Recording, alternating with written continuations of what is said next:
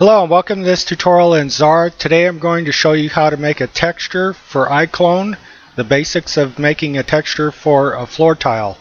So first I'm going to draw a square box here holding the control key and then draw another smaller box and then rotate the smaller box and change the middle box here to white and also put a stroke on it of one point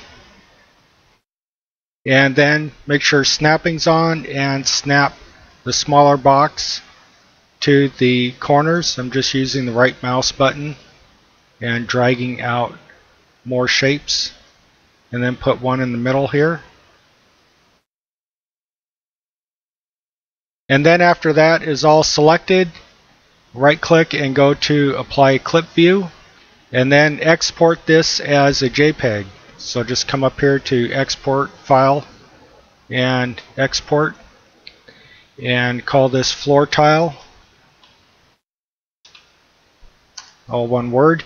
And make sure that it is set to true color and click export. Now over in iClone I'll go to the set props and look for the 3D props and go into this section and grab the floor and also I'm going to put an actor on the floor. Just put Chuck on there. We'll make Chuck dance too in a little bit. So after that's done, I'm going to grab the texture and drag it to the floor. And now to get the floor tile to tile, go into the properties for the floor tile, make sure that it's selected, and change tiling here to 20.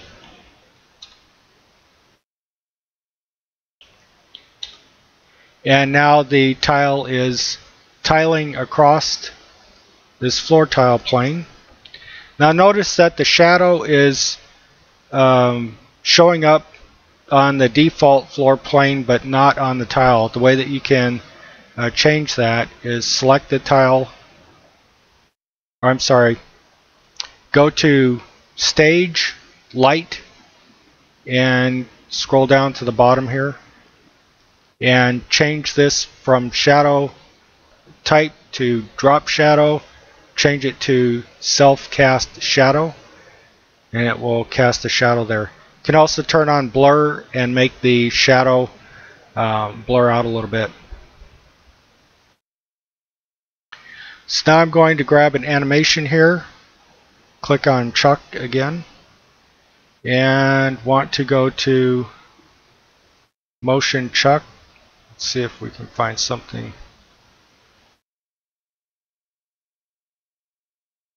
See maybe he's surprised that he has a new floor.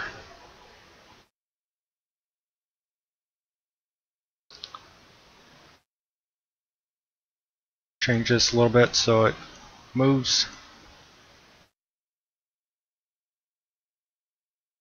and you can see the shadow in the background moving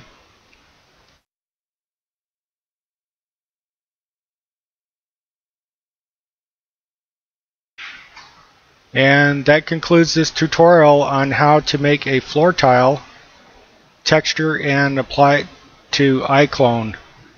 Thank you very much for watching and I hope to see you in the next video. Bye now.